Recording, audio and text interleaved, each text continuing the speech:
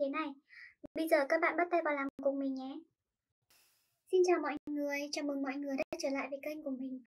Để bắt đầu vào làm thì ở đây mình đã chuẩn bị những ờ, dụng cụ và nguyên liệu như sau này. Về dụng cụ thì ở đây mình có những cái cây bút màu nước như thế này.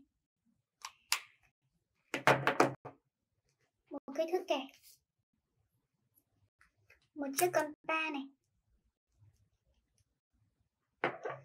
Một cái kéo.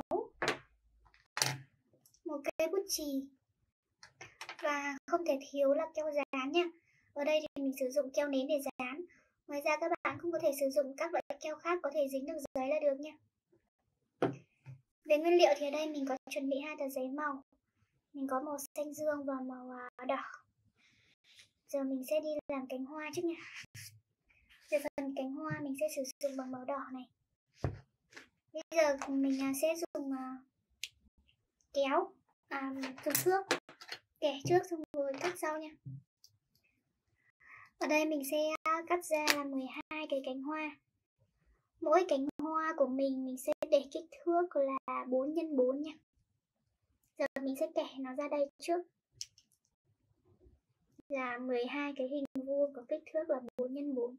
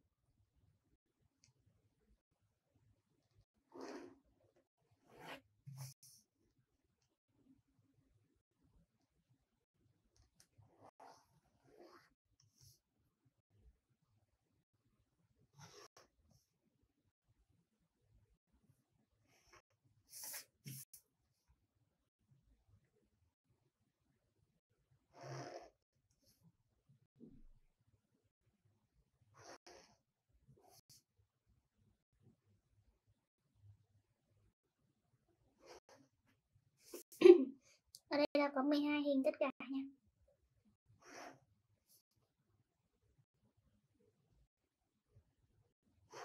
Giờ mình sẽ cắt 12 cái hình này ra này. Đây. Mình vừa vẽ xong.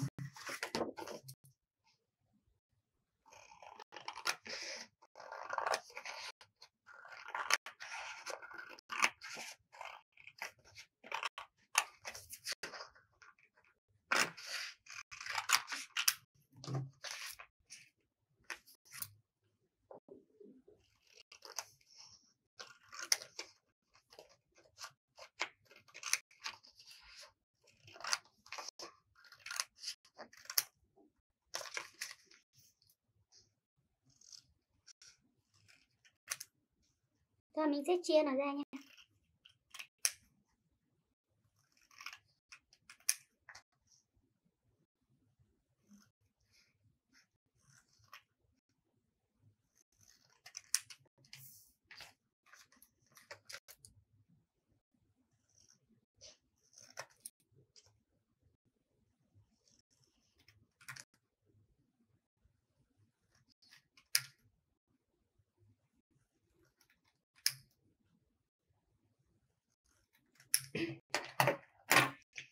Sau khi mà mình đã cắt xong được 12 cái hình như thế này rồi Bây giờ mình sẽ gập đôi những cái hình này lại Sau đó để cắt thành những cánh hoa nha.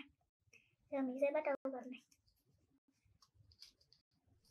Đó, Các bạn sẽ gập tất cả toàn bộ 12 cái hình lại như thế này.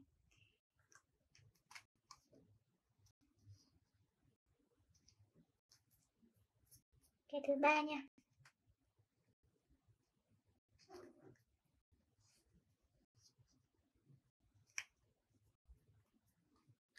Thứ tư này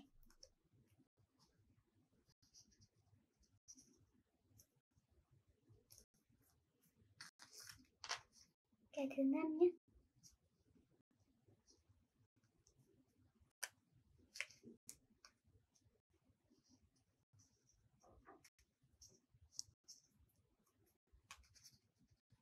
Cái thứ sáu này. Cái thứ bảy mình còn à, bún đầy nữa.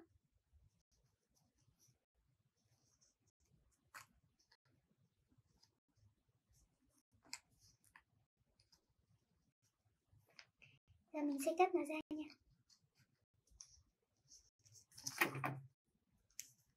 Đây, giờ mình sẽ cắt nó ra này.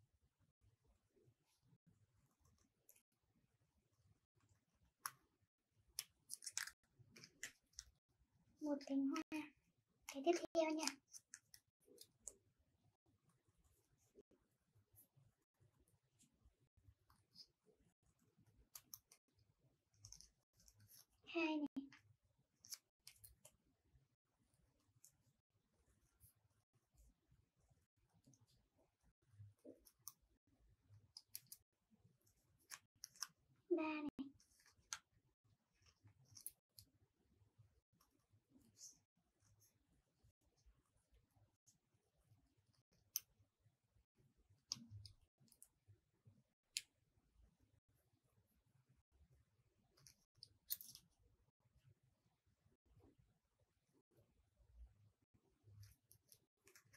4 này cái thứ năm.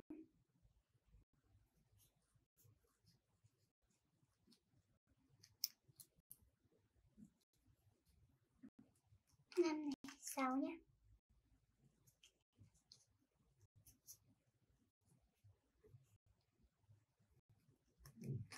bảy này.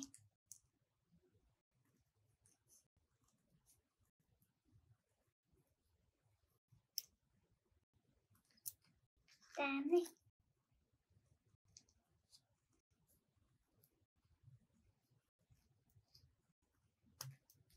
Chín này.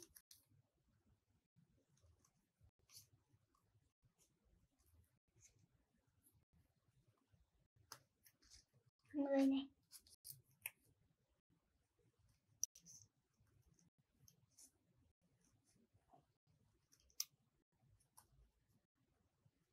mười một này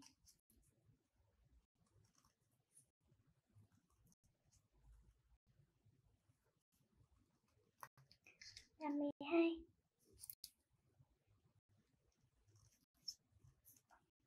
Vậy là mình đã cắt xong được 12 cái cánh hoa rồi Bây Giờ mình sẽ đi dán nó thành một bông hoa nha Trước tiên, bây giờ mình sẽ cắt cái hình à, tròn ra trước để mình làm cái đế để dán hoa ấy. Đây, sẽ dùng con ba để xoay ra đây một hình tròn Bán kính các bạn để khoảng tầm 2 đến 3 cm là được nhé.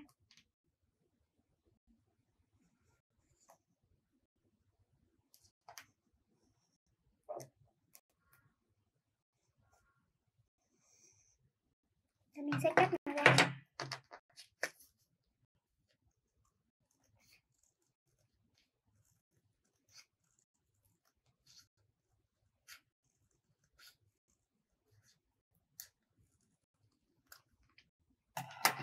Giờ mình sẽ dán nó lên cái tròn màu đỏ mình vừa cắt này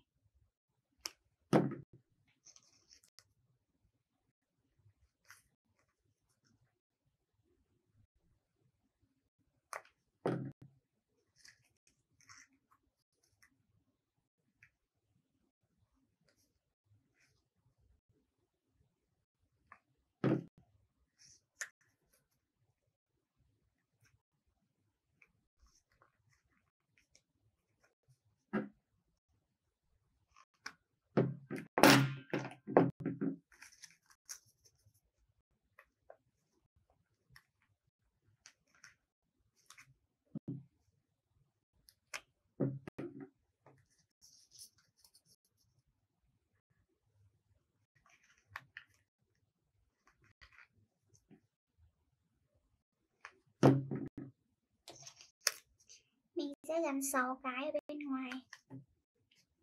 Sau đó tiếp theo mình sẽ gắn 6 cái xen kẽ nha.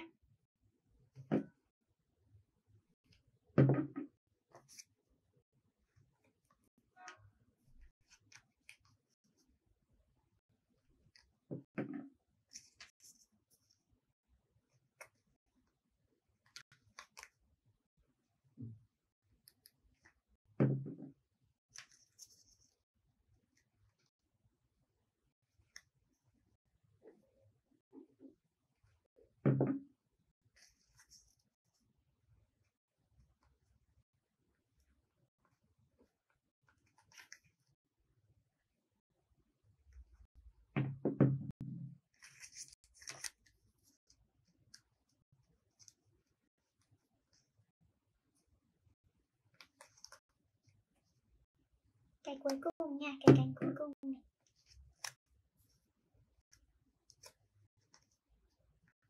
Như vậy là mình đã gắn xong cánh hoa rồi. Bây giờ mình sẽ đi uh, dán nhị hoa. Nhị hoa thì ở đây mình có màu vàng này. Mình sẽ dán màu vàng cho nổi nhé. Mình sẽ cắt một chút thôi. Một chút hình tròn màu vàng thôi.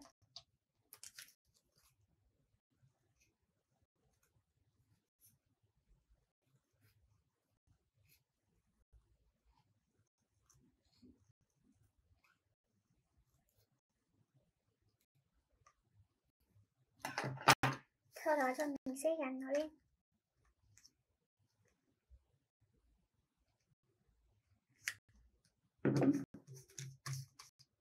đó, như vậy là mình đã được một cái bông hoa này. Tiếp theo bây giờ mình à, sẽ đi làm cái phần à, móc treo và lá trang trí cho bông hoa nha. Móc treo, bây giờ mình sẽ dùng một chút màu vàng nữa giờ mình sẽ cắt một cái đoạn vàng màu vàng ra.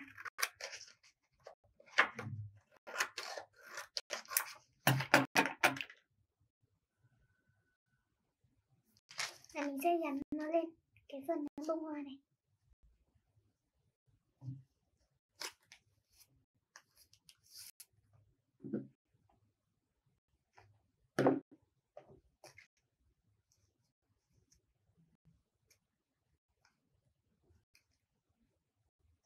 đó mình sẽ gắn như thế này nha.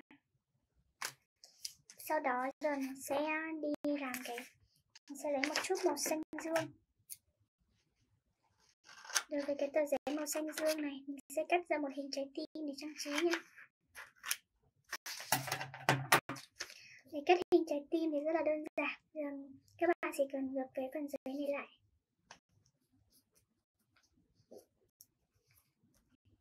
Giờ mình sẽ dùng bút chì để vẽ cái nửa hình trái tim ra đây rồi mình sẽ cắt cho nó cân đối nhé.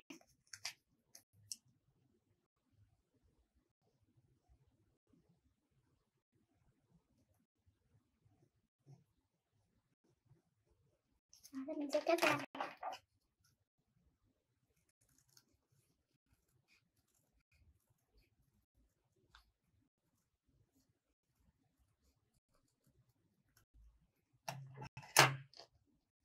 sau khi mình cắt thì mình đã được một cái hình trái tim như thế này. Đó. Bây giờ mình sẽ gắn nó vào cái phần à đây, đây mình sẽ gắn ở phần ở trên này.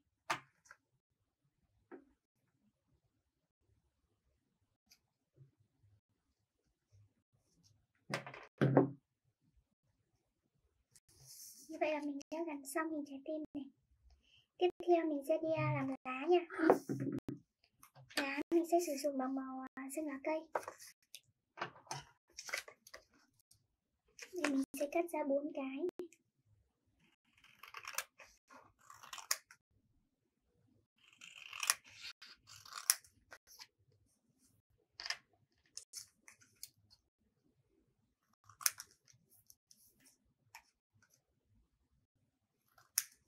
đó rồi mình sẽ cắt ra những cái lá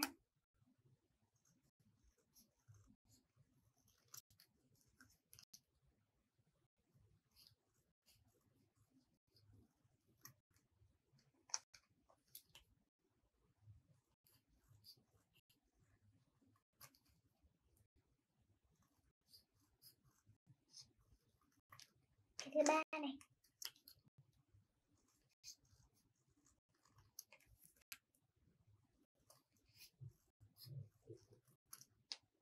Cái thứ tư nha.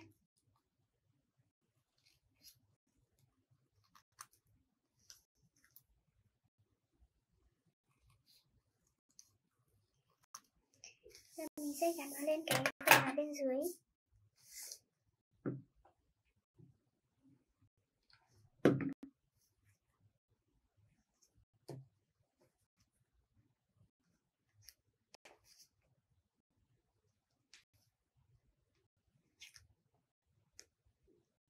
Như vậy là mình đã hoàn thành xong một cái dây hoa trang trí như thế này rồi Rất là đơn giản và dễ làm nha Mọi người mà thích có thể tận dụng những cái tờ giấy màu để làm ra những cái cây hoa xinh xắn giống mình để trang trí nhé và video của mình đến đây là hết rồi. Cảm ơn mọi người đã theo dõi.